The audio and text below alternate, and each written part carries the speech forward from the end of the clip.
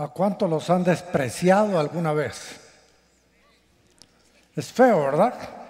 Se siente feo ser despreciado, menospreciado, rechazado, insultado, ofendido, y sobre todo cuando es por causa de nuestra fe en Jesucristo. Qué importante es entender que a pesar de que somos rechazados por causa de nuestra fe en Cristo, tenemos muchas razones por las cuales estar contentos, satisfechos. Yo he visto a personas golpear a otros por causa de la fe en Cristo. He visto a personas insultar a otros por causa de su fe en Cristo Jesús. Pero qué importante es entender esto.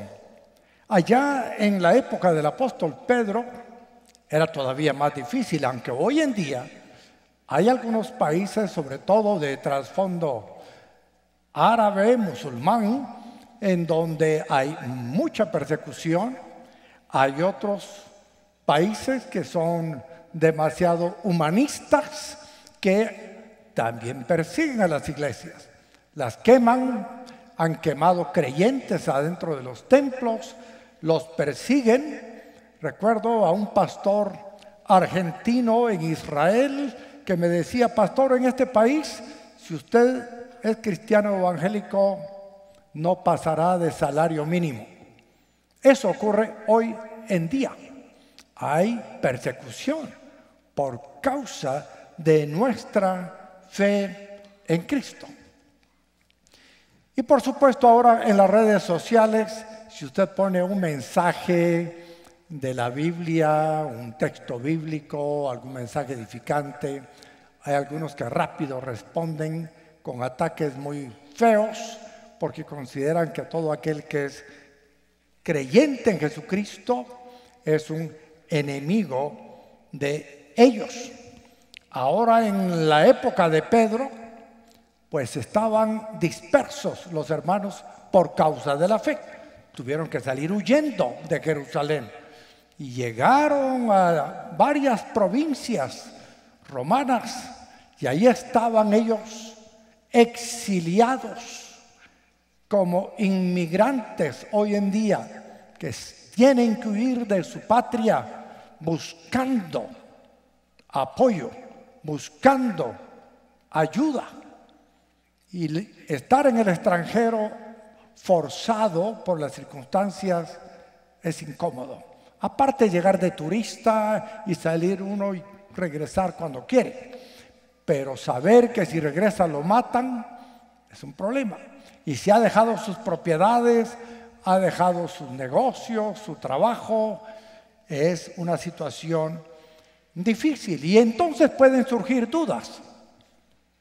¿Valdría la pena creer en Cristo Jesús y venir a padecer hambre, persecución, escasez y todo tipo de sufrimientos? ¿Valdría la pena? Cuando Pedro se da cuenta de esta situación que están viviendo, por su fe en el Evangelio de Jesucristo, él decide escribirles para animarlos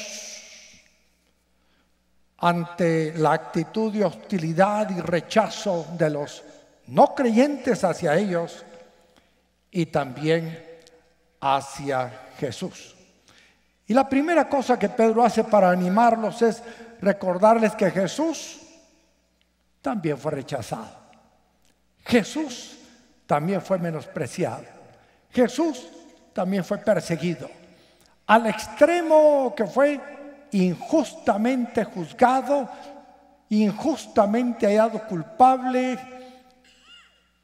y crucificado. Aunque sabemos que en el plan de Dios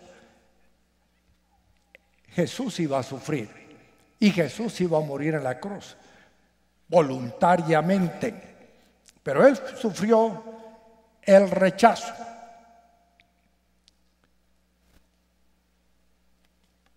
Leamos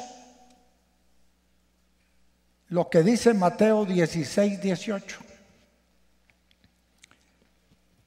Pero en vez de leer solo el 18, vamos a empezar leyendo del versículo 13. Mateo 16, 13. Cuando llegó a la región de Cesarea de Filipo, Jesús preguntó a sus discípulos, ¿quién dice la gente que es el Hijo del Hombre?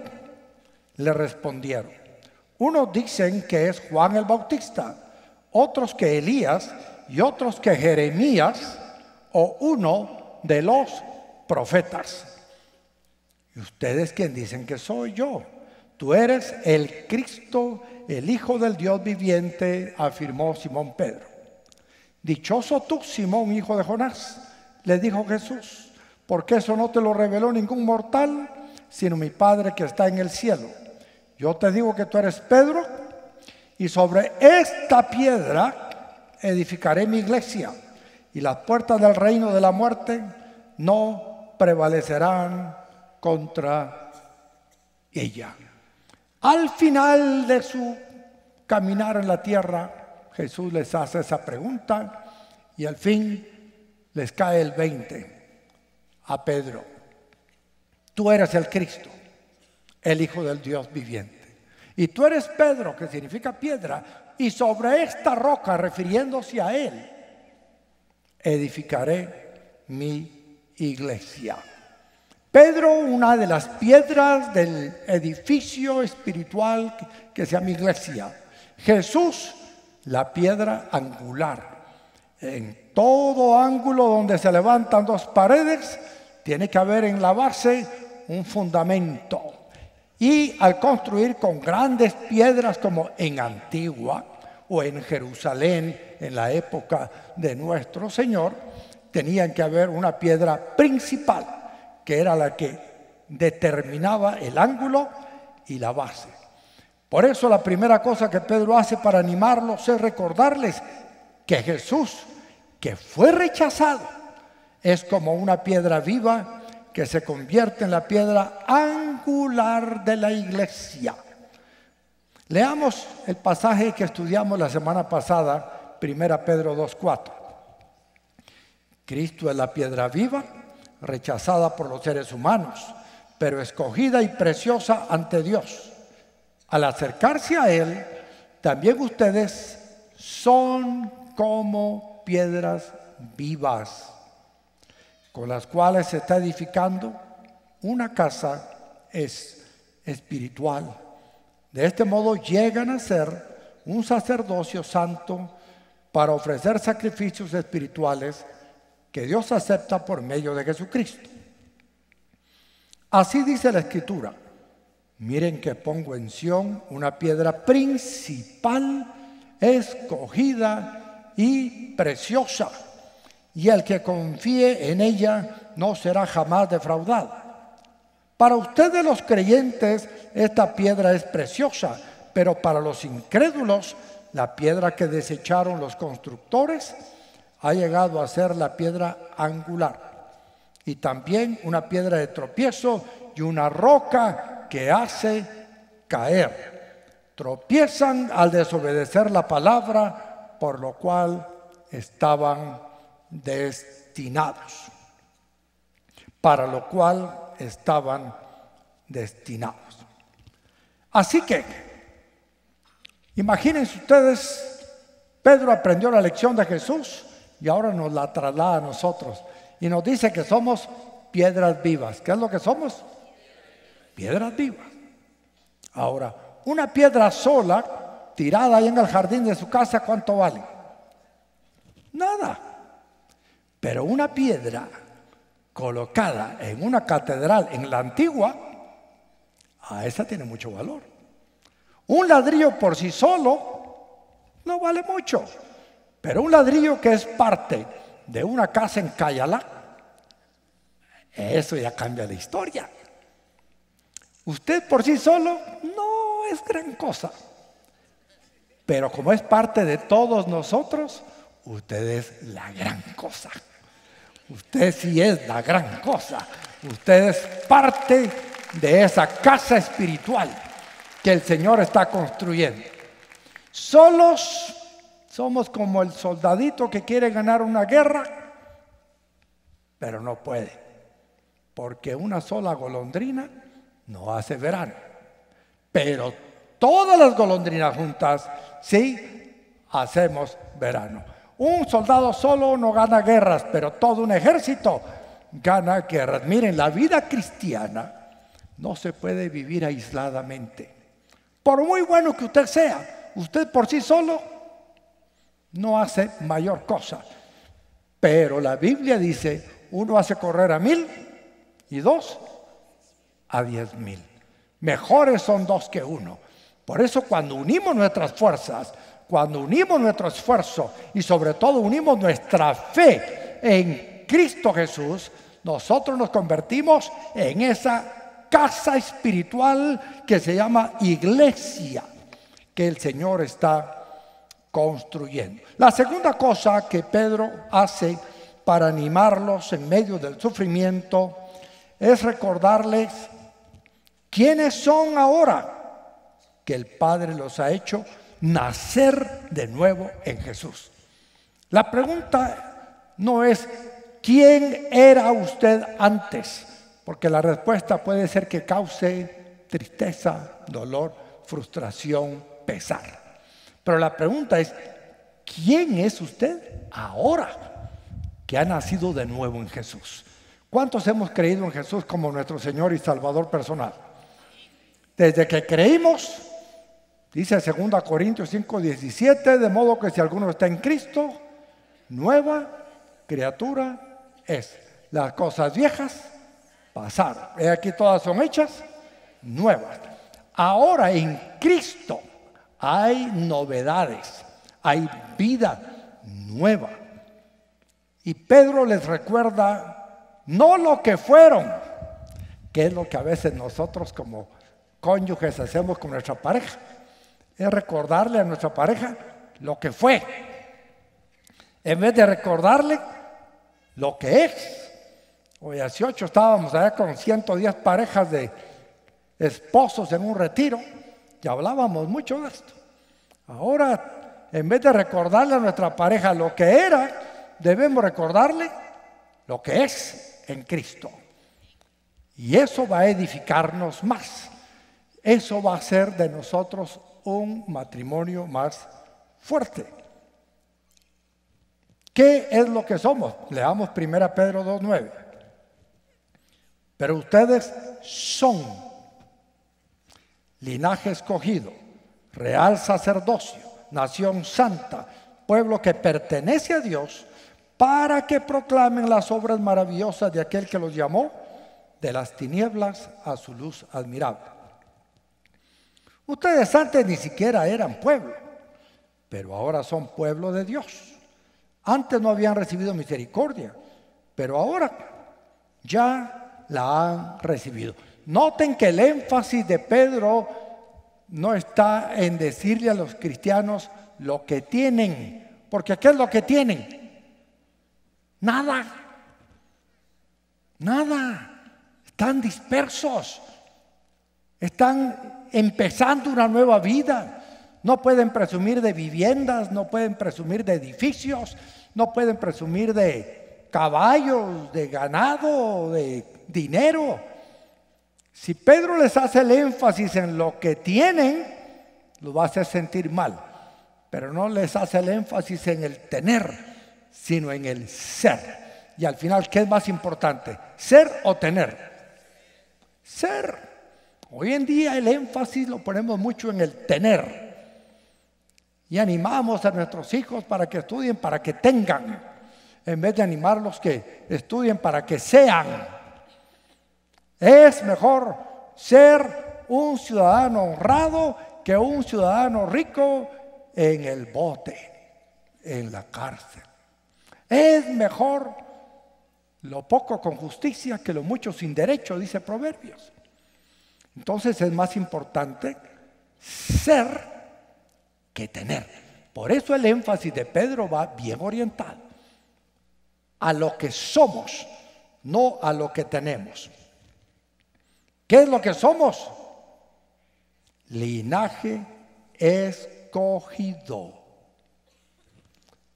A veces usted oye a alguien que tiene un apellido de esos que suenan así como de alcurnia.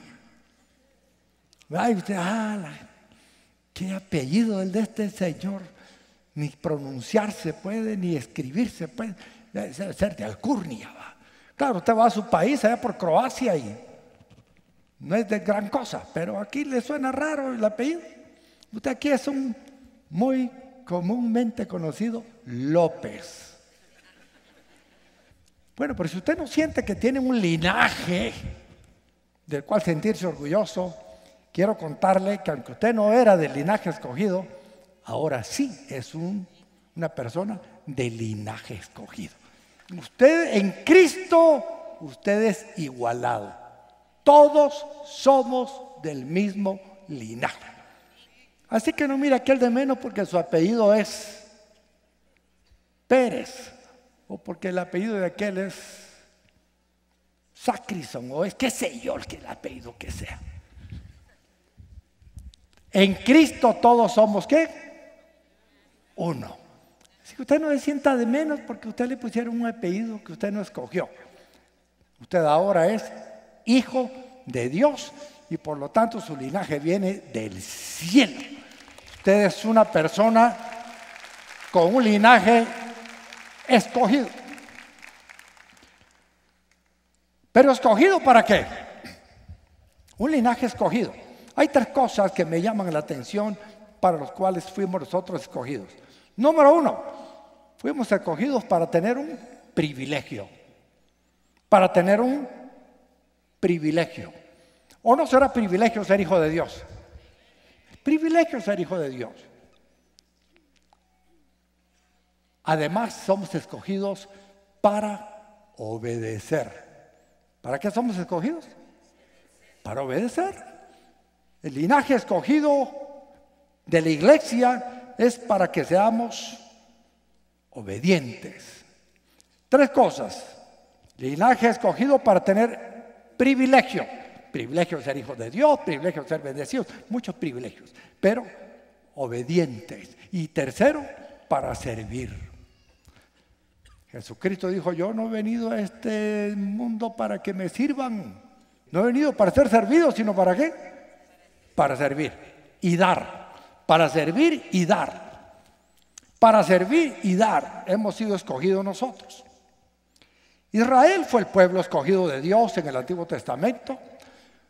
Pueblo prometido a Abraham, Isaac y Jacob, a quien Dios le cambió el nombre por Israel. Todos los descendientes de Israel eran del linaje escogido. Nosotros en Jesús, del linaje de David, ahora somos también linaje escogido. En Abraham fue profetizado que también todos nosotros seríamos bendecidos por medio de él. Dios le dijo a Abraham, cuando todavía ni siquiera tenía hijo, en ti serán benditas todas las familias de la tierra. Así que ¿Usted cree que viene de una familia maldita? Sí, dije una familia maldita. Ahora, recuerde, usted también es parte de una familia bendita. Usted es parte de la familia de Dios. Esta es una familia que bendita. Es que nadie escoge la familia en que nace. ¿Por qué nací yo en esta familia? ¿Por qué tengo estos hermanos?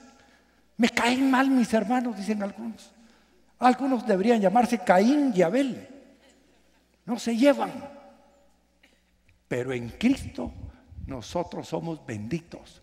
En ti serán benditas todas las familias de la tierra individualmente y también como familia del Señor.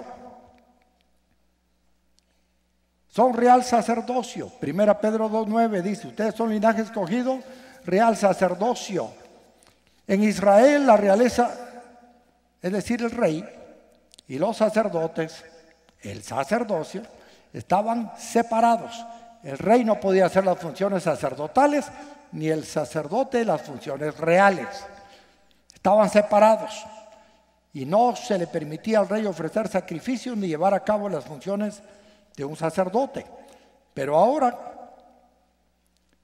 Jesús es rey de su pueblo y sacerdote nuestro ante Dios. Jesús une las dos funciones, es rey y sacerdote. En Él no solo hemos nacido de nuevo, hemos sido constituidos real sacerdocio. En el Antiguo Testamento Israel tiene sacerdotes, en el Nuevo Testamento y bajo el nuevo pacto, todos somos constituidos sacerdotes y tenemos el privilegio de entrar a la misma presencia de Dios por medio de Jesucristo. En el Antiguo Testamento, en Israel, solo los sacerdotes podían entrar al tabernáculo a ministrar, a presentar sacrificios u ofrendas, porque dos cosas, dos cosas hacían los sacerdotes. Una, sacrificios afuera del templo y la otra, entrar a presentar ofrendas. Pero el pueblo no tenía ese privilegio, pueblo se quedaba afuera.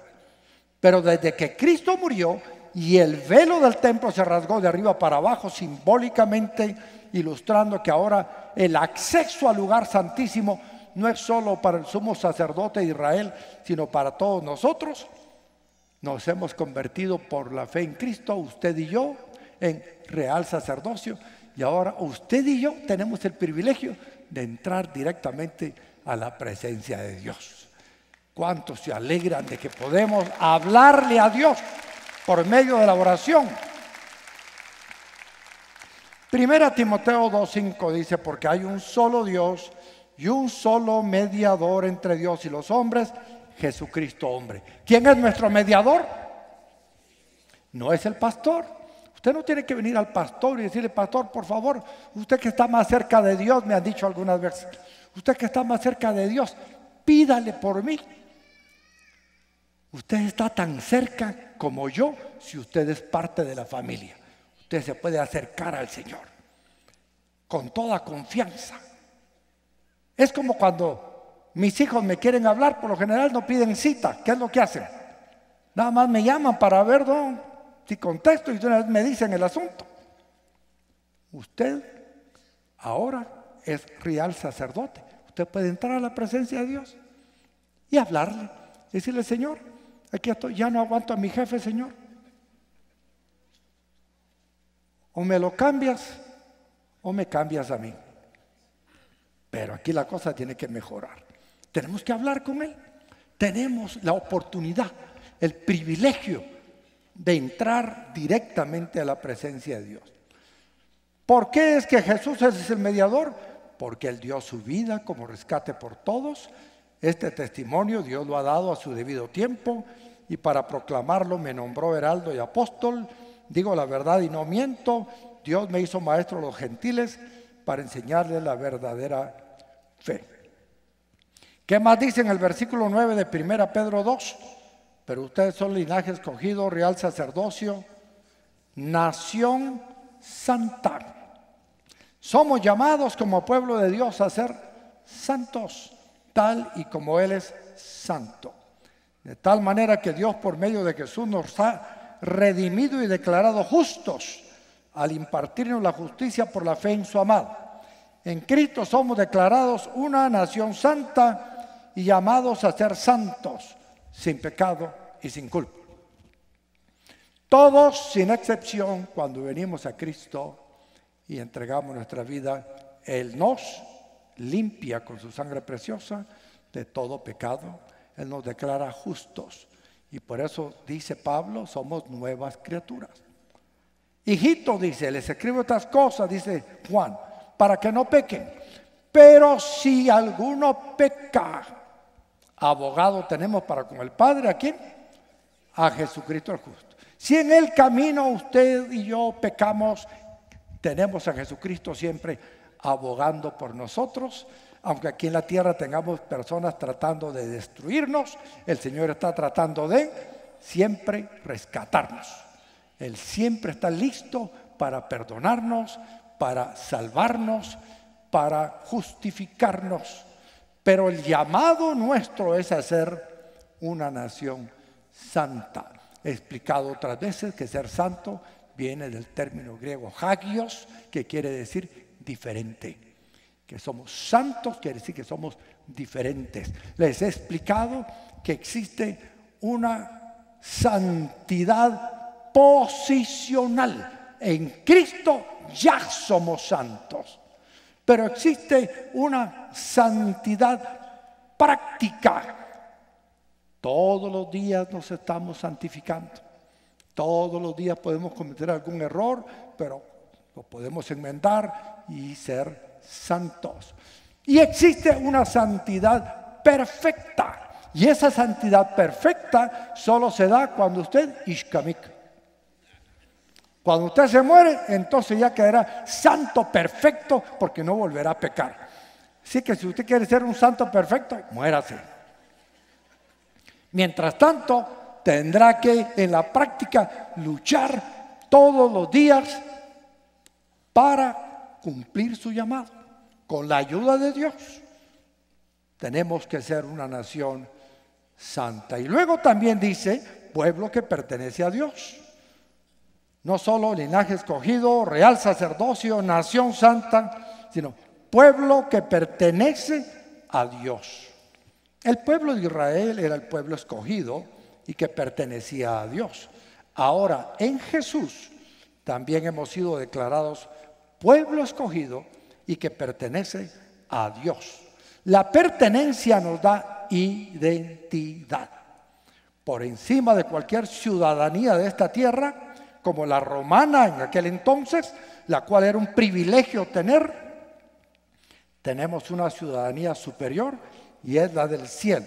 Y ahí esperamos nuestra redención. El pertenecer a Dios nos da identidad y nos da seguridad. Usted no anda por aquí en el mundo rodando sin saber quién es su Señor, quién es su dueño. Usted sabe que es Dios su dueño. Ahora, ¿para qué? ¿Para qué todo esto? Real sacerdocio, linaje escogido, nación santa, pueblo que pertenece a Dios. ¿Para qué todo esto?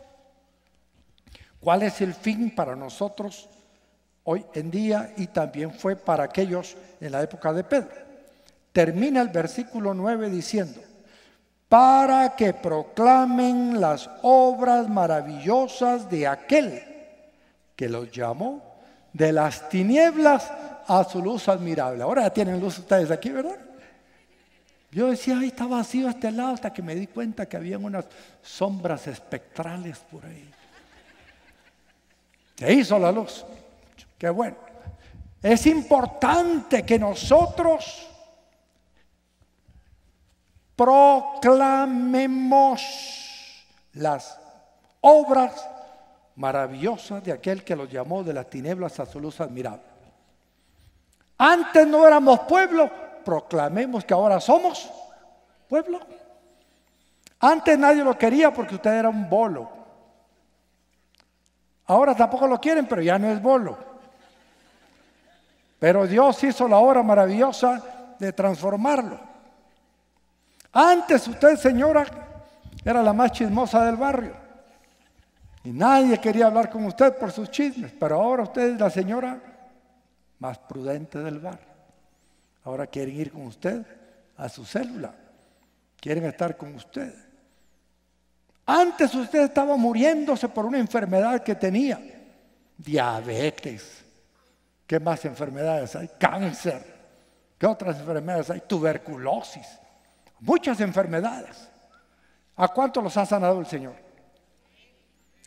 Proclamen esas obras maravillosas. Cuenten. Yo por eso no me canso de contar. Hace un año me estaba por morir ahí en el hospital porque me abrieron de par en par, operarme el corazón, las coronarias, tres bypass. Y ahorita estoy como que no pasó nada. Dios en su maravilla, en su gracia, en su amor, en su misericordia, con su poder. Aquí me tiene. Proclamemos las obras maravillosas. Dios ha hecho obras en cada uno de nosotros. Entonces, proclamemos, contemos, cuéntele a sus amigos, Cuéntele a sus vecinos, cuéntele a la gente que está afligida cómo Dios le ha sacado a usted de las aflicciones. Y la tercera cosa que Pedro hace para animarlos en medio del sufrimiento es recordarles que antes no eran y ahora son. Dice en el versículo 10, ustedes antes ni siquiera eran pueblo, pero ahora son pueblo de Dios. Antes no habían recibido misericordia, pero ahora ya la han recibido. Efesios 2.11. Por lo tanto, recuerden ustedes los gentiles de nacimiento, nosotros también somos gentiles de nacimiento. Díganle a su vecino, somos gentiles, hermano. Si usted dice, ah, yo no soy gentil, entonces es judío. Aquí o hay judíos o hay gentiles. Por lo tanto, recuerden ustedes los gentiles de nacimiento, los que son llamados incircuncisos, porque los judíos, todos los varones, se circuncidan porque la señal del pacto que Dios hizo con Abraham es la circuncisión. Hoy algunos se circuncidan por otras razones, pero no por motivos religiosos. Entonces a los gentiles los judíos nos han llamado incircuncisos por aquellos que se llaman de la circuncisión. Los judíos son los de la circuncisión, los gentiles de la incircuncisión, la cual se hace en el cuerpo por mano humana. Recuerden que en ese entonces ustedes estaban separados de Cristo, excluidos de la ciudadanía de Israel y ajenos a los pactos de la promesa, sin esperanza y sin Dios en el mundo. Pero ahora, en Cristo Jesús, a ustedes que antes estaban lejos. Dios los ha acercado mediante la sangre de Cristo, porque Cristo es nuestra paz. De los dos pueblos ha hecho uno solo, derribando mediante su sacrificio el muro de enemistad que nos separaba, pues anuló la ley con sus mandamientos y requisitos.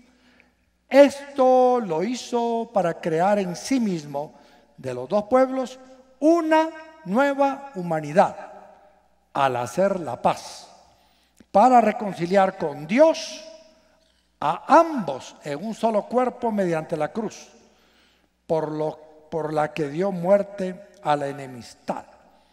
Él vino y proclamó paz a ustedes que estaban lejos y paz a los que estaban cerca, pues por medio de Él tenemos acceso al Padre por un mismo espíritu. Por lo tanto, ustedes ya no son extraños ni extranjeros, sino conciudadanos de los santos y miembros de la familia de Dios. Edificados sobre el fundamento de los apóstoles y los profetas, siendo Cristo Jesús mismo la piedra angular. En él, todo el edificio bien armado se va levantando para llegar a ser un templo santo en el Señor. En él también ustedes son edificados juntamente para ser morada de Dios por su Espíritu.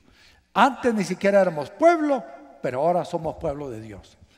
Recordemos que los que estaban allá en, el Ponto, en esas partes que hoy es Turquía, no eran pueblo. Vaya, pues es como los guatemaltecos que se van allá a Carolina del Norte. Ahí no son pueblo. Ahí son unos ciudadanos guatemaltecos que están inmigrando. No son pueblo. Pero los que estamos aquí somos un pueblo. Y votamos por el nuevo gobernante. Y ya viene el nuevo gobernante a tomar su su lugar y oramos por el actual gobernante para que Dios lo ayude a terminar el 14 de enero y entregar constitucionalmente su autoridad al nuevo equipo. Y con la ayuda de Dios seguiremos orando por el nuevo también para que hagan cada uno su labor. Ah, aquí somos pueblo, pero hay gente que no es pueblo. Así estábamos los gentiles, creyentes, regados por todos lados, pero no éramos pueblo. Ahora ya somos el pueblo de Dios, no estamos solos. Y antes dice no habíamos recibido misericordia, pero ahora la hemos recibido. Concluiremos entonces, Romanos 9:30 dice, ¿qué concluiremos? Pues que los gentiles que no buscaban la justicia, la han alcanzado. Entre ellos nosotros hemos alcanzado la justicia. Me refiero a la justicia que es por la fe. En cambio, Israel, que iba en busca de una ley que le diera justicia, no ha alcanzado esa justicia. ¿Por qué no? Porque no la buscaron mediante la fe, sino mediante las obras, como si fuera posible alcanzarla así. Por eso tropezaron con la piedra de tropiezo, como está escrito. Miren que pongo en Sión una piedra de tropiezo y una roca que hace caer, pero el que confía en él no será defraudado. Quiero darles la buena noticia. No seremos defraudados siempre que confiemos en Él. Confiemos en Él, no seremos defraudados. Y gracias a Dios somos linaje escogido, real sacerdocio, nación santa, pueblo, propiedad. Oh, el Señor es el dueño de nuestras vidas. Pongámonos de pie.